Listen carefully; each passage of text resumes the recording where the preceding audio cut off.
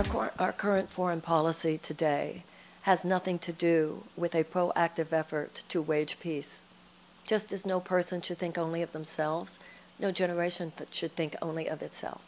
There's nothing about our foreign policy today that has that factors in any goal setting, any intentionality regarding a world at peace 25 years from now or 50 years from now. Why is that?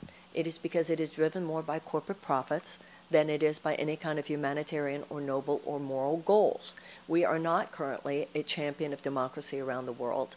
People roll their eyes at that thought. People around the world, we're not champions of democracy around the world anymore. We're not champions of humanitarian values.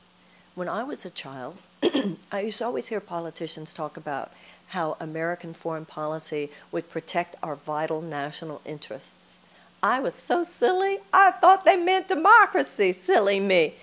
More and more, that has not meant protecting democracy. It has meant internationally doing what we do domestically. Our government far too often working to advocate for short term corporate profits than for the kind of democratic and humanitarian concerns which should be the core of all public policy, both domestic and international.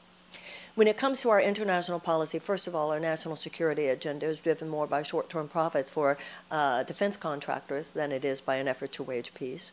We have a $750 billion defense budget, but within the State Department, now the State Department is only 40 billion, so that's development and diplomacy and mediation.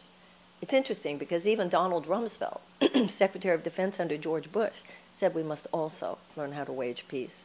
And General Mattis said before he left the Defense Department that if you're not going to fully fund the State Department, then I will need to buy more ammunition. Now, within the State Department, we spend 17 billion on the USAID, which is humanitarian efforts, and less than 1 billion dollars in the budget. Now this is very important. This is why I want a United States Department of Peace. You cannot just take medicine, you have to cultivate health. Sickness is the absence of health. Health isn't the absence of sickness. War is the absence of peace. Peace isn't just the absence of war. We're not going to just back ourselves into peace somehow through this endless perpetual preparation for war.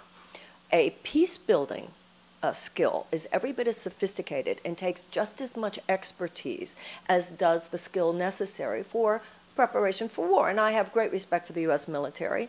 That my critique here is not of the military. My critique is of the political decisions that are being made here. Now, when it comes to peace building, there are four factors which, when present, statistically indicate a higher probability of peace and a lower probability of conflict. Number one, expanding economic opportunities for women. Number two, expanding educational opportunities for children. Number three, reducing violence against women. And number four, reducing unnecessary human suffering wherever possible.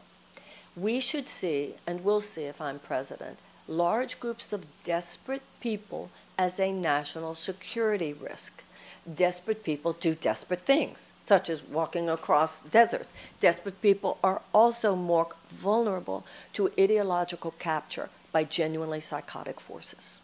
So, for me, in both domestic and international policy, first of all, if there will be a Williamson doctrine, it will be that the world will understand that from this point forward, America's greatest ally is humanity itself. And in all public policy, domestic and international, the core guidance is what will help people thrive. That is how to build prosperity, and that is how to build peace. What would help people thrive?